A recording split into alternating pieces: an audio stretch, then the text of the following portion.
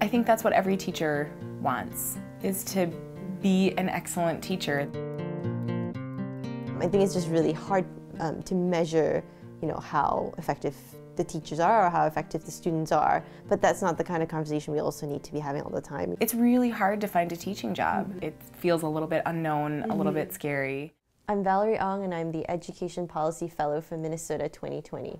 I'm Robynne Curlee. I'm a student at Hamline University in the Master of Arts in Teaching program. Tell me why you want to be a teacher, given you know the cuts to education funding, the uh, achievement gap, and mm -hmm. so many other issues that are compounding education in Minnesota today. Why do you want to be a teacher?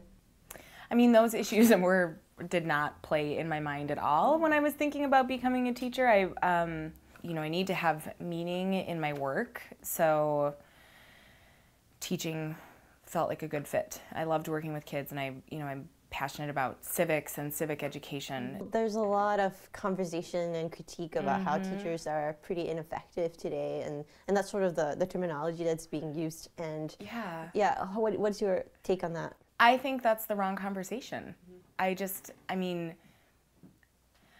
sure. In any profession, there's going to be people who you feel like are not up to par, but I really feel like teachers, for the most part, are doing their job well it's just that the job is becoming something that we've never seen it before. You know, I mean, really, like you've got kids coming to school hungry, kids who aren't sure where they're going to be sleeping at night, kids who are dealing with all sorts of stuff at home, kids who have never been read to before.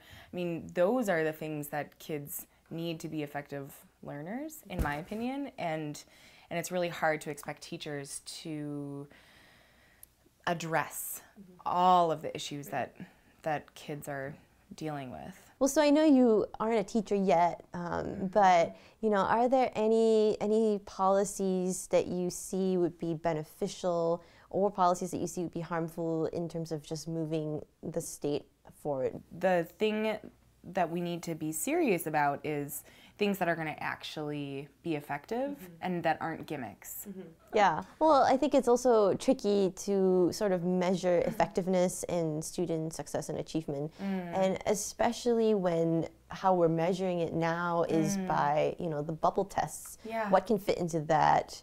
Everything else gets left out, you know, in yeah. terms of having students be a whole person with music programs or the arts? I mean, I don't know what the answer is in terms of assessing. Stu- I mean, yes, absolutely. We need to be able to assess student learning and make sure that students are getting what they need in the classroom. I don't think that bubble tests are the answer to that.